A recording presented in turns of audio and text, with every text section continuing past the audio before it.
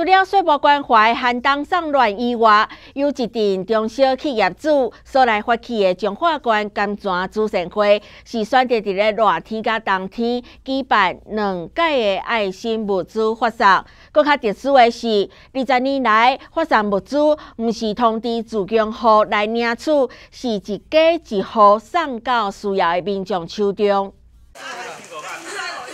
慈善会成员无用咧整理物资，然后一项一项搬上车。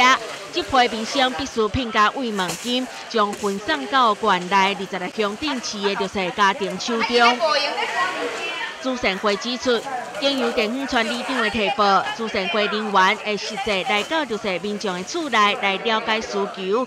除了紧急的救援以外，每年的五日节加冬尾，拢会同步发送爱心物资。这是。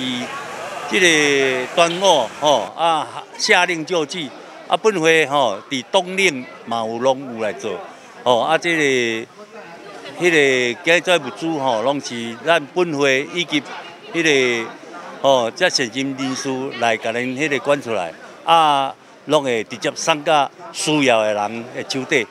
爱心物资的发送，毋是弱势民众出门领，全部拢是由慈善会人员亲身送到厝内。